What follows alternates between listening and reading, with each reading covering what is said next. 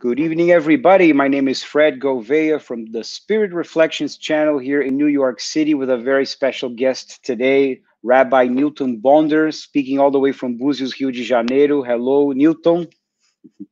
Hello, hello to everybody.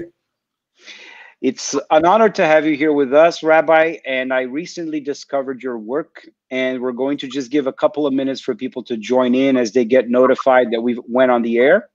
And I discovered your work thanks to YouTube, thanks to the quarantine. So before we go into you and your work, for those that might be joining us shortly for the first time, Spirit Reflections is a channel that started during the quarantine of interviews. Uh, we call them interviews around the fire or around the fire conversations episodes. And the goal is to get inspired by that prehistoric fire idea where the tribe gets together after they're done for the day with their chores, their obligations, their survival needs, and they in their rest time they sit around, they light a fire, they're in the forest, they're looking at each other for companionship, for friendship, for trust. They're entrusting the elders of the community with the leadership and the little ones they are mentoring and so everyone's around the fire warming up physically, but they're also exchanging glances and exchanging ideas about what it is to be human. And I like this backdrop that you see, which has this starlight sky in the middle of the night in the forest where we're connected with nature and we're just wondering where we come from, where we're going, what's out there.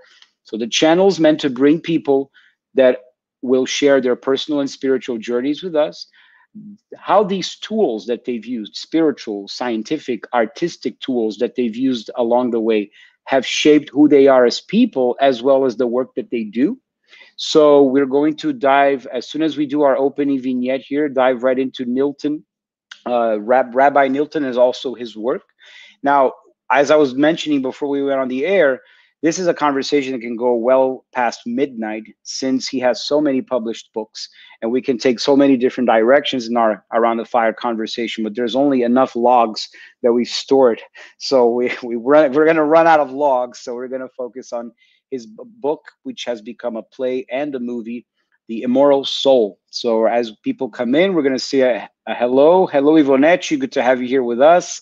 Ivonete has become a fan of yours. She's reading your book, Segundas Intenções, Second Intentions. She's loving it. And Danuta, welcome. And Marinez also. So a lot of our friends in Florida and also in Brazil are going to be joining shortly. So why don't we take it away and put our opening vignette, Nilton, which is the um, music by Debussy, the song that he wrote, the piece that he wrote called Rêverie, meaning dreams. And when I was putting together this channel, I said, I want to have a song or a piece of music that blends well with this backdrop. And immediately I began to hear in my head the melody. So I said, all right, this must be the one that is the best for it. So here we go.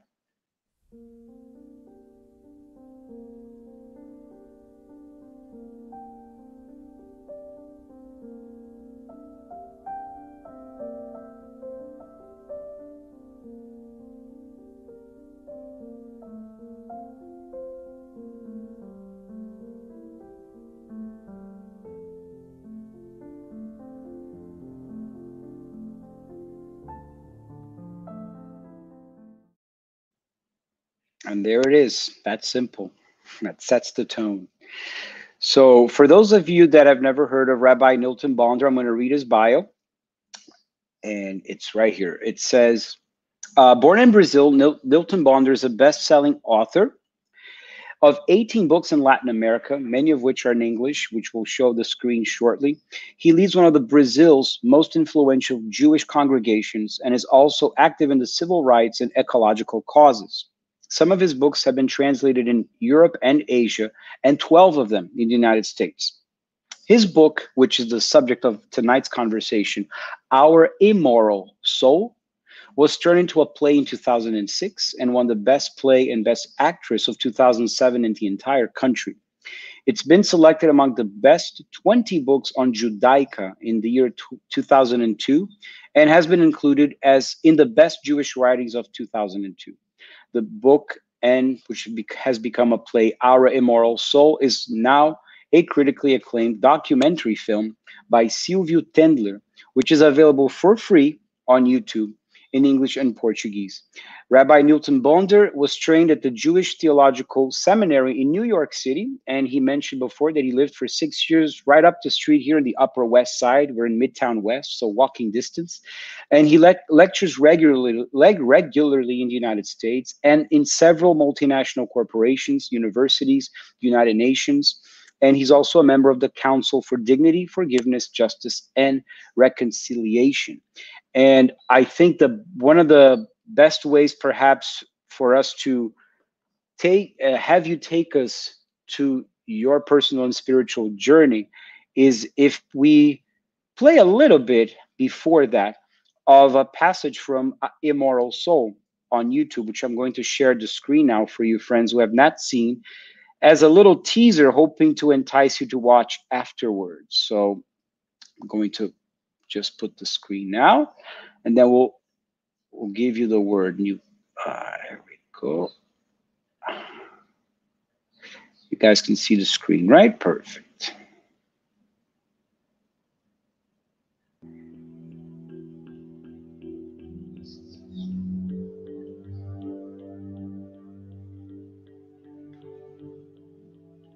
Compreensão bíblica de corpo e alma é diferente da concepção de Darwin ou da psicologia evolucionista.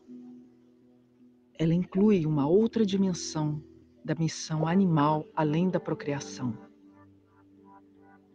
Sua natureza transgressora.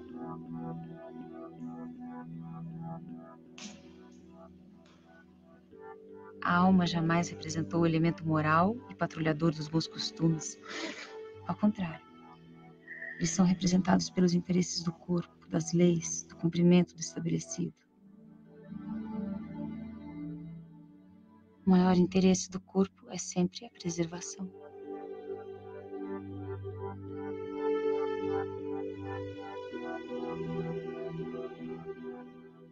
Toda moral, toda tradição, toda religião e toda lei são produtos do corpo moral de um animal moral e toda a sociedade está voltada para vestir a nudez do ser humano. Capaz de romper com os padrões e com a moral. A alma é o componente consciente da necessidade de evolução. Só a alma transgressora, só a traição ao corpo moral resgata a verdadeira possibilidade de imortalidade.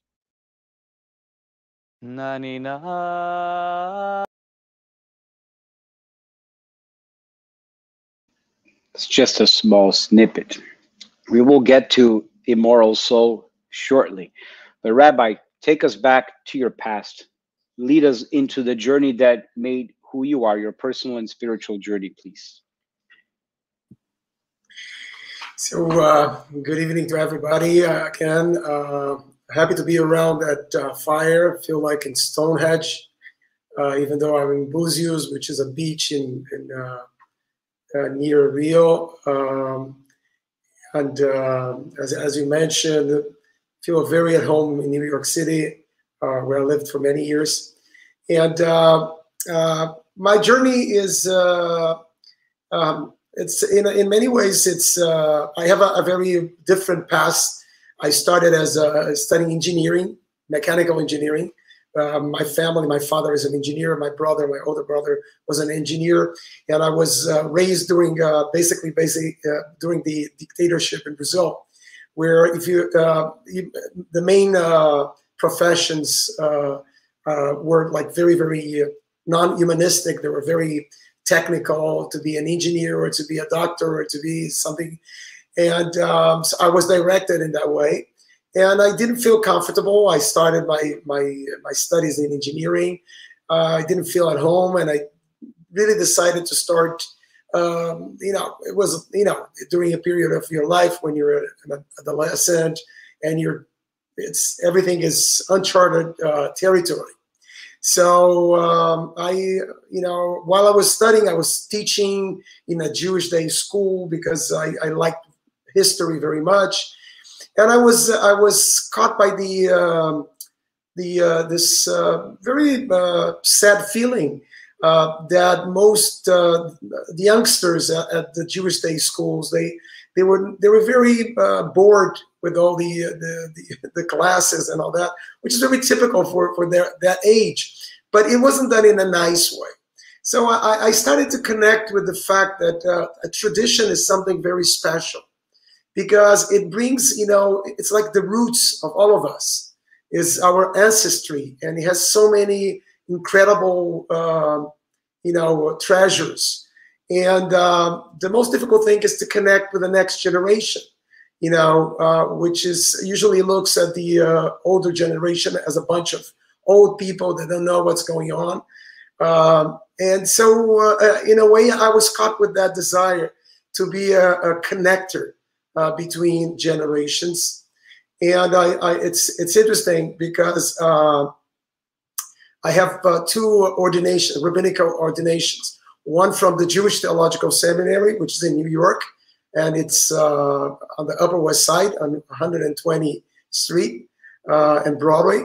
And uh, I have a second ordination with uh, that I got from Rabbi Zalman Schachter, was a, was a Hasidic rabbi, um, and I'm, mentioning that because when he uh, gave me that second ordination, he made a, uh, a play on the word of my of my my family name, which is Bonder, which comes from bonding, from bonder, uh, and in Hebrew uh, it works well also because boneh means to build.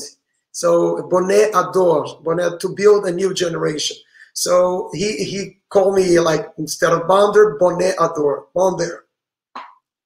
So in many ways, I, I feel that I was I was caught with that desire to uh, to uh, be uh, you know to uh, connect the, the, hearts of the new generation to the older one, and uh, from there I was able to release I think unleash a lot of my personal spiritual you know life that didn't have much of a of a format until uh, I started my studies. My family was not uh, particularly observant of, of, of Jewish uh, religion, Judaism, and so it was uh, it, it, was it was new uh, for me. But at the same time, it was also a connection. I, I then found that my grandfather was very connected. was was a, was a was a singer at, at a synagogue in the south of Brazil, Porto Alegre, and uh,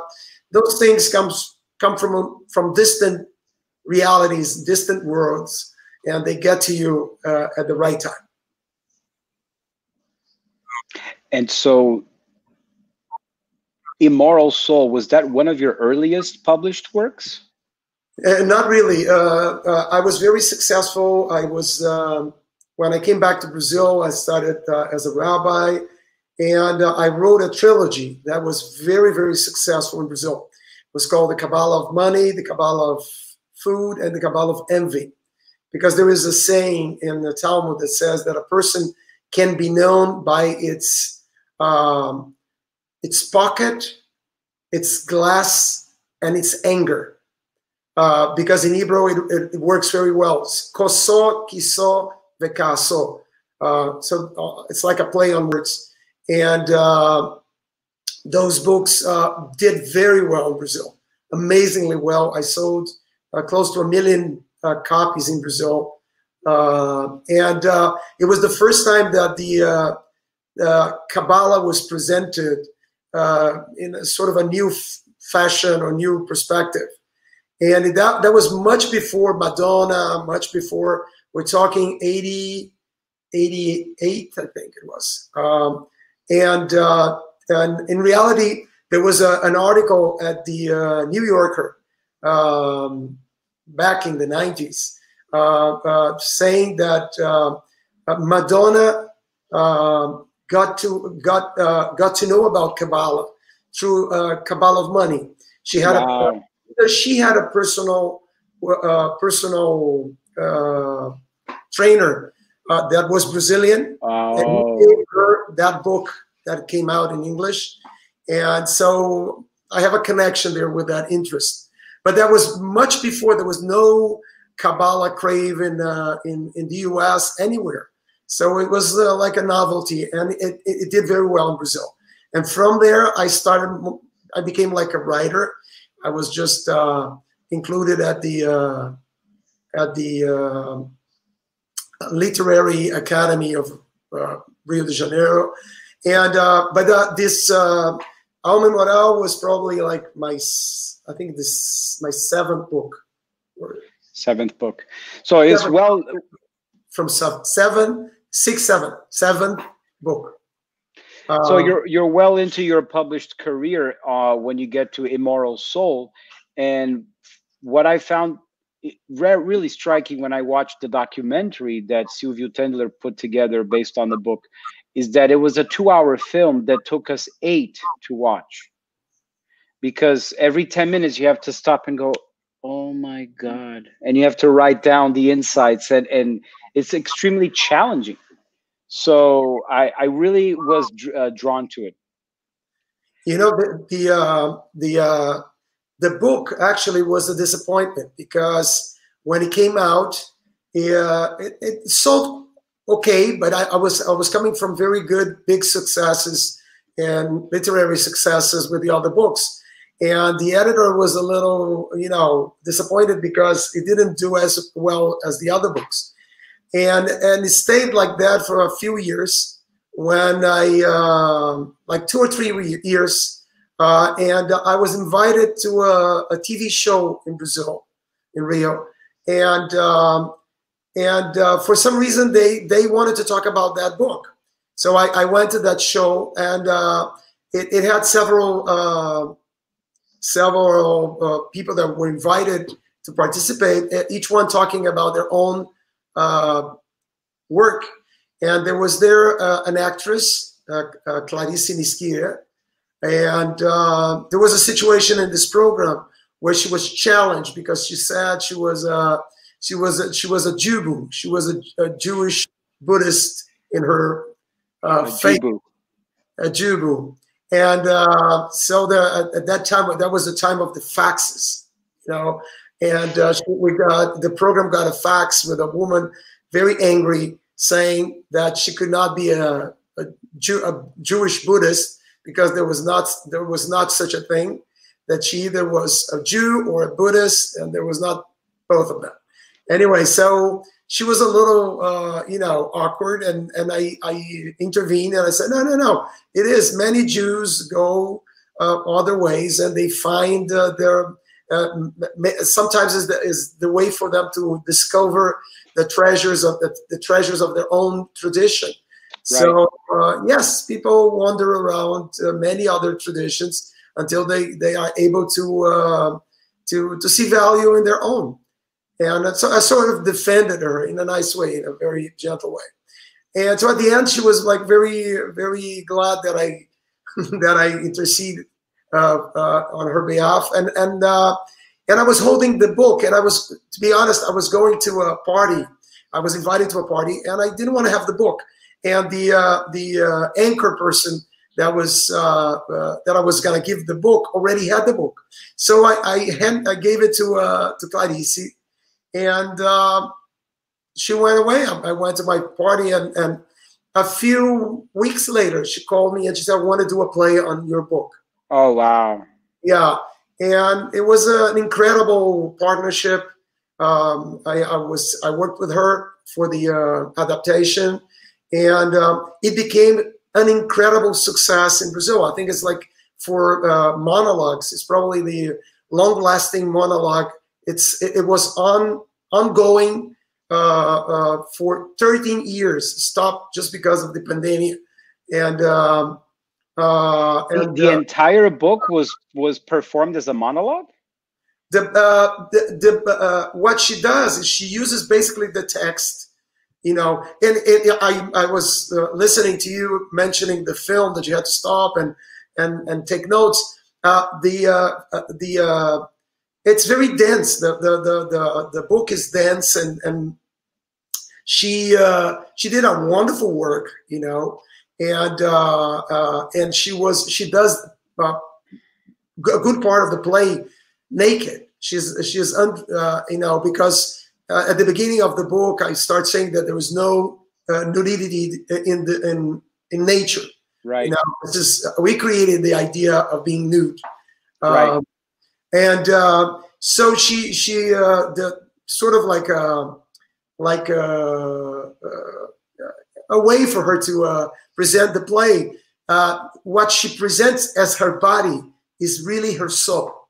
So it was a challenge to present a physical body and to make it not uh, to, to not have uh, any sensual uh, uh, Connotation, right? connotation exactly and uh, for you to see her soul by looking at their naked body so it was very daring and uh, even the, the text was was very difficult what what became like a cult uh, thing in brazil is that people went to see the play like you were saying about the movie they went two times three times uh, we had like a mileage program for people that went more like five times and uh, and it was funny and she would stop. She would stop. She had this uh, recurse during the uh, the play that she would stop at a certain point and she would say, "You throw me a word, and I'll repeat parts of the play that we we did until this moment." Wow. the text. So people would say freedom, and she would go back, you know, like a Google search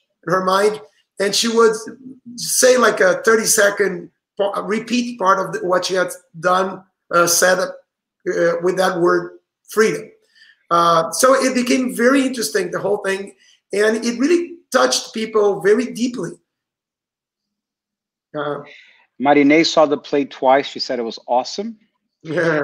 Now, Rabbi, why do you think people are so drawn to this work? And the title of it is Our Immoral Soul, a manifesto of spiritual disobedience. I think people are. I think the whole uh, idea that is written by a rabbi, by a, by a uh, religious person, uh, and it is presenting tradition, but not only tradition. When, when, I, when I mention the word tradition, it means your education, the way the way you were educated, uh, and uh, most of the time we're, we're working on that. You know that idea that things are either good or bad or right or wrong. You know, basically, education is very much creating you a critical uh, perspective, which is okay. It's fine. That's the way we do things. But um, but but not not it's not uh, when you grow up when you graduate the the first part of your life you understand that your parents your teachers your rabbis your your whatever uh, you know um, pastors fathers Authority figures. whatever oh, oh, exactly your authority figures your government whatever they don't know exactly what is right and wrong and they create laws with the best intention. They create morals with the best intention. But but you have to be able to discern when the right is not right and when the wrong is not wrong. Uh, you cannot teach that to a child because if you teach that to a child you got to destroy the whole education. You have to really be uh, you have to have a, a you have to have a rigorous uh, perspective until they understand they, they get this education uh, but they have to be created uh, they have to be educated in a way that they are able to understand that they to become a critical person uh, you know to have the uh, the critical ability to to look at life and situations it requires you to deconstruct uh, many of the values that you've learned but you don't have to dis- deconstruct them because they are use, useless or wrong. You have to deconstruct them because for them to be really useful they have to be able to uh, to uh, be flexible in a way. Uh, And I think Yeah. you mentioned a lot this this idea to transgress also means to transcend so you can transform. So all of these ideas are connected. And uh, at first it can be seen by the society by the community by the authority figures by the people that have boxed you in as something of a disobedience something wrong where the moral becomes a, a limitation right Uh, and you know, I, I tie as I was preparing for our conversation today. I remembered a question, and for many of us that are watching here in uh, Spirit Reflections, they, have a familiarity with Spiritism, Kardec's Spiritism, and there is a, a, question in the Spirits book, which was the first book he compiled in the uh, 1800s of questions and answers he asked spirit entities through several mediums all over Europe and North America. A pretty intriguing question because the answer the spirits provide makes you really think uh, th- this is the question. It's 932, and it asks. He asks the spirit uh, entities, "Why do the wicked of this world usually exert a great influence over the good ones?" So why is it that they have so much power and dominance, and they seem to dominate over the good ones, right? So this is the answer, which I love. The answer is because the good ones are not assertive. The wicked are scheming and daring, whereas the good are timid. The moment that they want to, the latter, the good, will prevail. So I think the moment that they want to, would that be the moment to transgress, the moment to perhaps? To, I think I think it's important to understand this. Um, uh, there is a, a very important uh, part to be played by what we call wicked. Um, right. There was a beautiful story in the Talmud where the rabbis uh, were able for uh, you know they were able to uh, to uh, uh, to imprison the uh, what we call yetzer hara, the the impulse for for for evil, the evil impulse. in a certain situation, they were able to trap that impulse and to made it captive. What was the problem? Next day, the chicken would not leg, eh, would not not um, uh, uh, you know uh, lay eggs. You know, people didn't want to go to work. Lovers would not make love because uh, it is a very important ingredient in, in, in life. What we call uh, sometimes a, a, little aggression, a little uh, all this, uh, the, this, the components of, of what we call evil or or, or, or wrong. So uh, life is not, uh, you know, even when you when you go to uh, to you know talking from the Jewish tradition, when you go to talk about Satan, which is like a an angel, he's an angel. He's he's part of the the the project. He's not right. out of the project. You know, there are many theologies that made him like, you know, a second power, you know, a dispute with God. No, no, no. He's, he's uh, the idea that he is uh, he's built in in ourselves. You know, right. in Hebrew, the word means uh, a, a block, a blockage. You know, we have blockages because we have uh, this uh, evil impulse in, in us. But this evil impulse is responsible for evolution. There is right. no evolution if you do not allow that impulse to uh, to uh, to go into uncharted territories. Uh, all of us, we know. Now you you were you you left Brazil, you went to New York. There were many many uh, moments of that move, and many moves that we do in our lives. They are very daring, and they require. Um, uh, we can put in nice words. They require dreams, you know. But you, if you look, you really need the, the, the kind of aggressiveness. You know, you cannot be soft. You have to face so many things. So you have to put yourself in a, in a situation where you have you have to face so many challenges, and you have to be sort of uh, tough. And so it's like the the energy of anger when you harness it and direct it. Would that be also a way to push exactly. through. Right? So, so uh, uh, the most important thing is not to, uh, to to separate things, but to learn how to bring them together. You know, when when I was uh, uh, uh, that title, immoral soul, made so many people confused in many ways. Right. Immoral is such a negative word. People would say, "Oh, what did you call it? Amoral?" You know, I said, "No, no, no, no. It's immoral because when you do something that is in many ways uh, different one, from what people expect, your parents expect, society expect. You know, what are you going to face uh, from their perspective is that you're being immoral. You know, right. I don't have, uh, you know, people that have problems, uh, situations with gender and all that. They know in the eyes of their parents or family or society, they look immoral in what they're right. doing.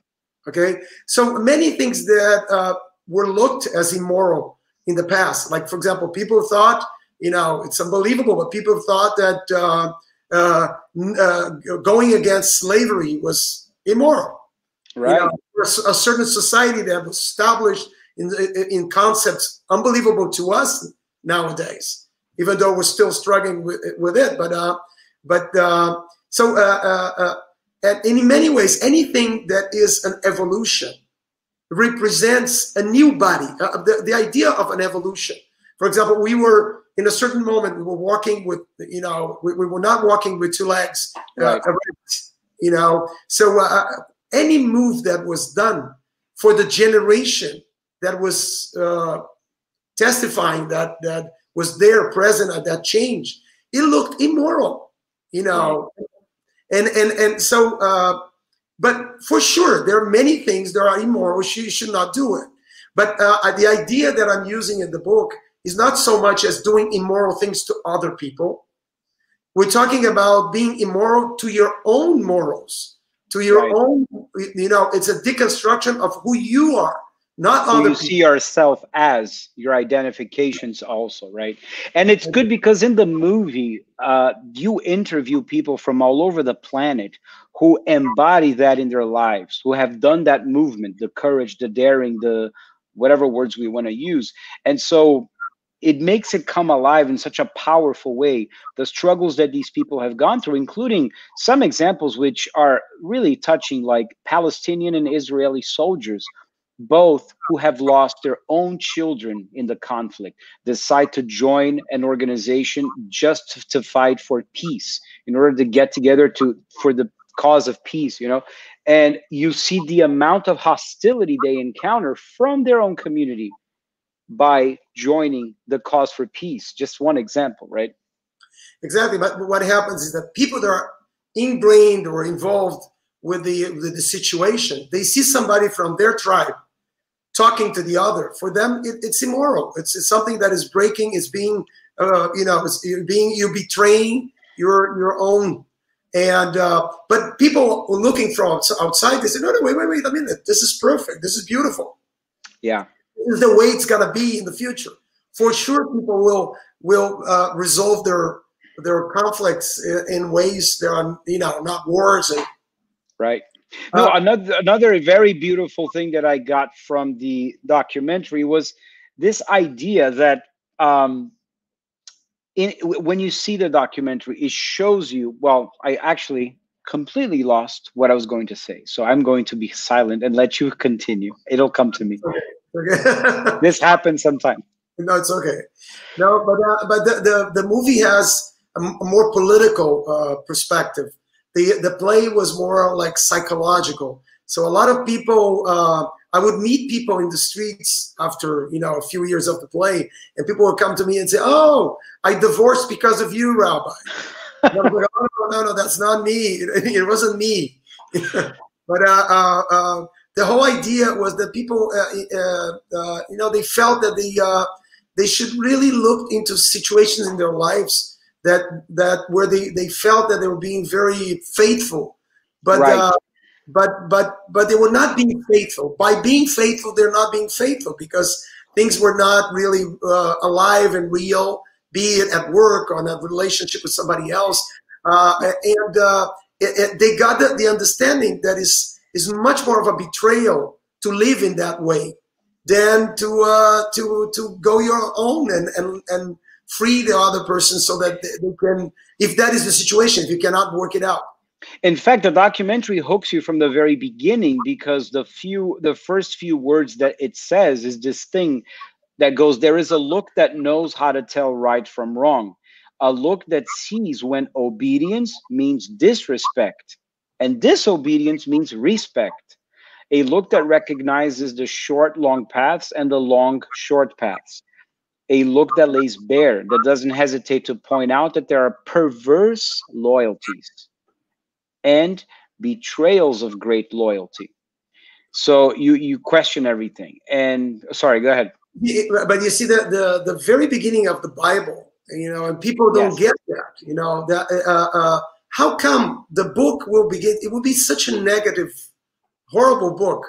The first thing it brings is human being doing the wrong thing, you know, and the, the you know being like you know doing the original sin, you know, and and you know spoiling everything.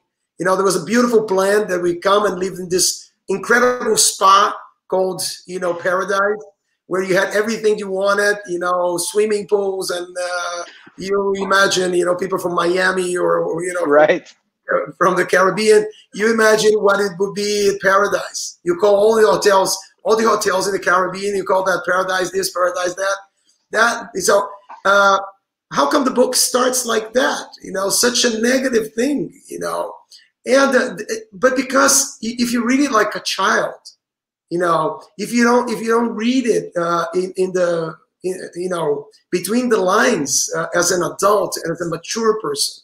You don't understand. That's the beginning of our our history, and everything that there is it, it, it, that is so special about human beings be, uh, began at that situation because yeah. it was it was a situation. As a child, God tells you, "Don't eat from that tree." If you want to be a good child, don't eat from that tree. They were not a good child because there, and, and this is very beautiful in, in Jewish uh, commentaries. Uh, the rabbis went over this idea, this, hey, there's, there's something wrong there, you know. Uh, so uh, uh, uh, maybe they're, they're not so, so lost, so, so maybe they're doing something in purpose. Maybe human beings are very noble and not this disastrous species that, that you know, came to the world. Um, we're still fighting with those two possibilities. Okay, right. but but uh, let's let's be positive. Uh, so the, the, human being is uh, they realized uh, why would why were we, what, what are we doing here? Right. What's the meaning of this spot? And, and, they, and they were able to figure that they they're here with a mission, which is to choose for themselves. Right. And they had there's no way there's no way you can begin this new venture if you're not able to say no to your daddy or your mom. Yeah, to ex- to experiment. Yeah, you have to do it, and in a way, mom and dad, very very worried, will be. It will be very disappointed if you don't do that in a certain. Yeah, and one of the things I got from watching the movie Immoral Soul is that you explain it explains crucial passages from the Old Testament in a very accessible and uniquely insightful way. I had never looked at Lot's wife and the women of the Old Testament as transgressors. So, all of these key passages that are so deeply ingrained in our collective unconscious, whether we're Jewish, Christian, or otherwise, you shed light in such a powerful way, in a psychological way which is, I think, the consciousness we are mature to discern from. We have already gained enough psychological maturity as a collective, I think, in order to look back at the foundations of these religious texts in a new light that is doesn't have dogma, doesn't have fanaticism attached to it. And regardless of the belief system, you can look at that and come away from it. That's why it took me eight hours to watch because there are so many implications in the way you shed light on them. So I really appreciated that. And while I mentioned that, I want to share the screen one more time for those that would like to watch the documentary in English. Here it is. It's on this uh, channel called Canal Curta. But if you type in Immoral Soul English on YouTube, this will be the screen that pops up all in uh, with English subtitles, and you will see Rabbi going all over the world interviewing uh, fascinating people. Yeah, basically immoral souls. Immoral souls. Yeah. yeah, that's yeah. why I, I, went searching for. It was a road movie trying to uh, to uh, find immoral souls around the world, and uh, I, I use because I didn't want to talk about immorality of other people. I, I have the uh, basically uh, Jewish immorals because it will be more uh, suitable to for me to speak about that than to go into other realms and, and and talk about other people's traditions or, or uh, and I'm curious, Rabbi, what prompted you to write this book? How, what was the genesis of it? Did you have a moment where you said, "Okay, a light"? I, you know, I'm when I told you that I, I was a, a, a bridge between generations. Uh, to be a bridge between the generations, you have to be a bridge also between uh, the uh, uh the old and the new. And uh, that bridge is a bridge that is able to translate what is the new. The new is in many ways is a transgression. is is different. Right. Uh, so you have to to translate the new uh, to be able to to connect the new with the old, because a transgression, in a way that I'm saying, is not a rupture with the spirit of the old. is is a rupture with the format of the old. So when, when you do that work and tell people of the new and tell them what you're doing is not very different from what your grandfather mother were doing. Um, in, in form, in many ways, is very different. But because you, you did it your way, you, you went your way, you know, and they did the same way, they did the same thing. It's uh, you connected in that capability of creating a new form a new form of, of living, more adapted, more uh, coherent, coherent to the to the environment that you're living, and you're conscious uh, uh, that is evolving, is learning all the time. And in this moment, go ahead. And, and you know this this there is a catch in the in the title of the book, which is the immoral, or the idea of what is immoral. And what usually we use, and, and you know, talking to to a public that really is connected to uh, spiritualism and all that, has to do with immortality. And uh, uh, um, I think this is a very interesting uh, point of the book.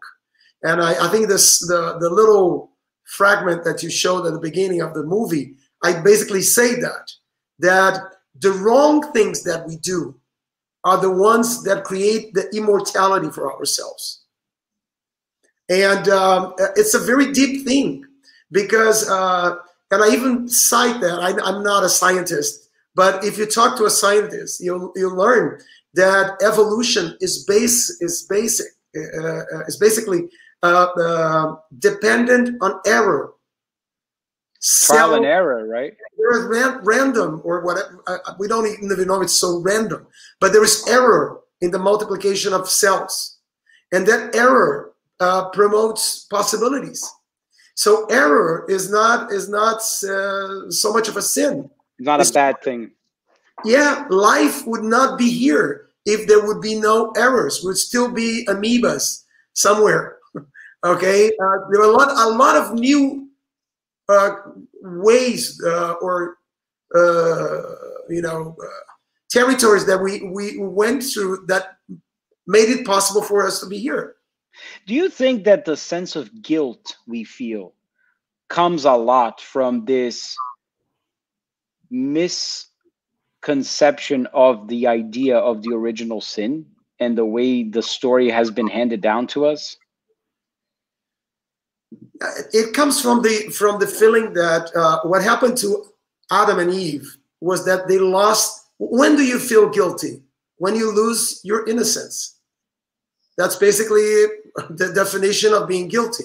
You know, if you go to, to a jury, they'll say, why, why is he guilty? Because he lost his innocence. So uh, this is this is the side effect of being of having autonomy. By having autonomy, you you you make you make decisions. Yeah, you have to be res responsible for your decisions, but but not only responsible for what you did, you have to, to pay a fine or, or pay the consequences. But, but by losing your innocence, because instead of following like a child, innocent, what God or Father said, do, I decided to stroll in, uh, you know, in territory never before uh, charted. So uh, by doing that, I lose a little innocence and and I have all those feelings that they are related to responsibility, to being autonomous, to being to knowing that error is very problematic. Doing something that was not uh, before uh, done, that that doesn't have the security of of being already proved and and uh, might have consequences. It's not just uh, uh, you know a, a, very nice proposition. Yeah, you just go around making uh, errors and right. and ruptures and all that, and everything is going to be fine in your life. We all know it's not like that. Uh, so uh, not only you pay the consequences, but there is an effect on you where you lose your innocence, and if you don't know how to calibrate that, you become either guilty, right, or you become uh, maybe something that is worse than guilty. You become irresponsible for your acts. So you have to oh. calibrate that because there's no way you're going to lose your innocence and be more autonomous without uh, having to deal a little with guilt. And Not I guess the, the the good aspect of it is you gain maturity and experience from it, perhaps. It's uh, to, to be very honest, human beings are always asking, what do I gain from that? You know, right, right. I'm not so sure what you gain, but but you gain the fact that you're more awake, that we we that we are uh, venturing ourselves uh, to become more awake. Well, you know, one passage from the New Testament that I think highlights that very well is the parable of the prodigal son, which scholars also mention as the parable of the two sons. The the young son that goes to the father transgressing and disobeying and say, "Give me my part of the inheritance. I want it now." Off I go into the world, and comes back after feeling guilty and remorse after he he squandered everything. Right, comes into his senses and comes back to the father and and thinks to himself, I can't be accepted as a son anymore. I'm not worthy of the title. I will I would I will beg to be welcomed back into the house of my father as a servant. Meanwhile, the father does the complete uh, embrace and unconditional love, zero punishment, zero condemnation, just puts the ring on the the son's finger, does the shoes and all of the symbols that means that he's accepting him back as a son, not a servant. And they have an amazing celebration party for the whole family, the whole neighborhood.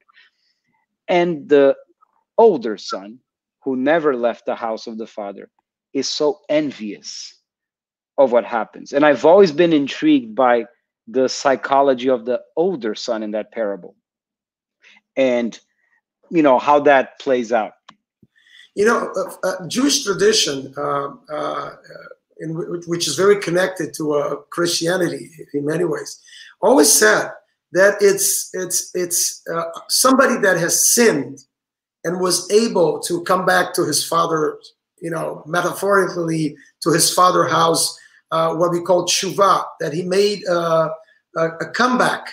Right. Is in a higher position that somebody that never committed any sin because this is this is uh, this is what uh, is expected that you do try to uh, uh to uh, evolve or or, yeah. or uh, or use of your of your free will in but but that you keep learning and and by learning you will understand that on the way of becoming immoral maybe you you have done things that were, uh, were you didn't do it in the correct way. Because there, there's never if you're doing something that is new there's no way you can do it like a professional. Right. that you know that that's basically what parents what they want to scare you. Now and you, you're like you're ready to embark in a new in a new uh, travel in your life journey in your life you know they will come to you do you know how difficult it's going to be you're to Sure, you're going to make mistakes. There are things that you will have to amend by, by going into something that is totally new. But at the same time, the parents would look at you after what you have, you have accomplished. They will look at you with much more admiration, not only admiration, they will feel that you are really uh, uh, uh, uh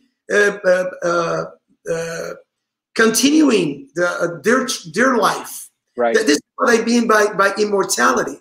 you know, uh, without thinking about the other aspects of, of immortality, but by talking about just about the connection between generations. What what becomes immortal is exactly that uh, sort of myth that where you're you're the hero that goes right. into the new venture and uh, you undergo all situations you become very guilty you do mistakes and all you learn from that. And and you become a bigger person. You you grow you mature. And by doing that you do what your parents really expected. Even though at the beginning they told you don't go. Right. it's gonna be horrible. You're gonna be you know by yourself. We, we're not gonna uh, you know uh, uh, uh voucher that. You got to do it by yourself. It's right. you. Yeah. Fantastic. I wanted to ask Rabbi about learning. you we're talking about learning. What are some of the things you've meditated on and learned and insights since we started this new phase of quarantine and what what it all means that you see in the future for us? Um, I think I think the quarantine was uh, was was a challenge. In in many ways, everybody was sort of forced into uh, becoming a little immoral to their own routine. Yeah. Uh, you know, we could not keep going the same way. We would wake up in the morning and do our things. Um, so we all became immoral, and uh, some people are, are are are very sad because of that. Um, and some people are, are, are learning the uh, the lessons that being immoral always present.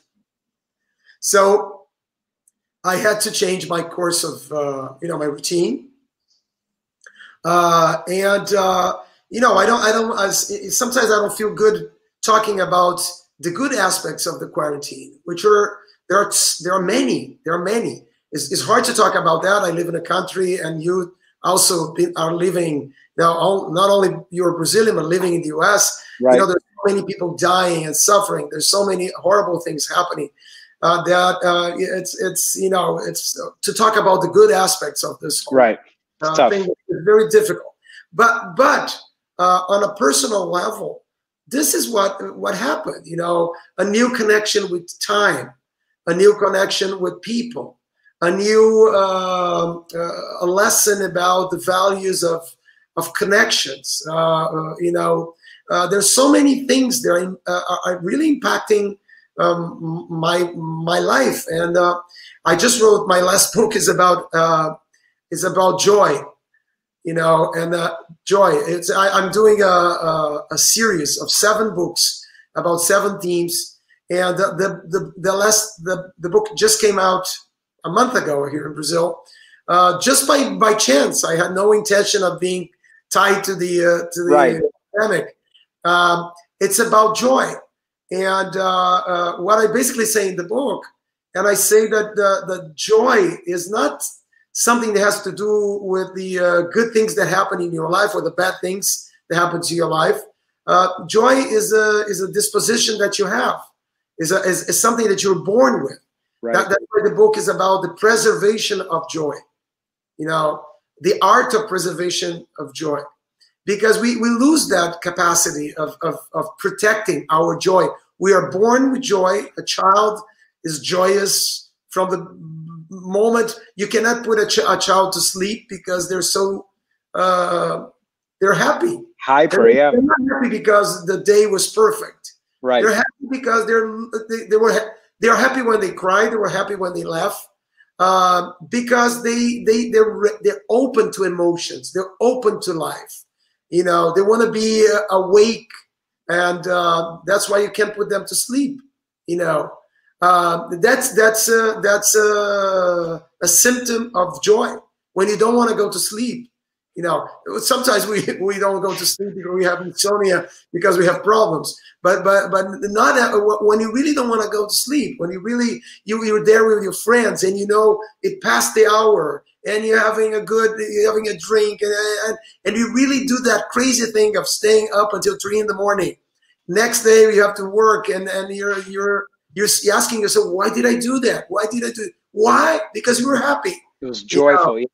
you were you were you, you were joyful, and and uh, and it had nothing to do. Uh, again, if something that I doesn't please me, you know, happens, I'll, I'll be uh, uncomfortable. I'll be, you know, I'll, I'll have emotions towards that, but that should not affect my my joy.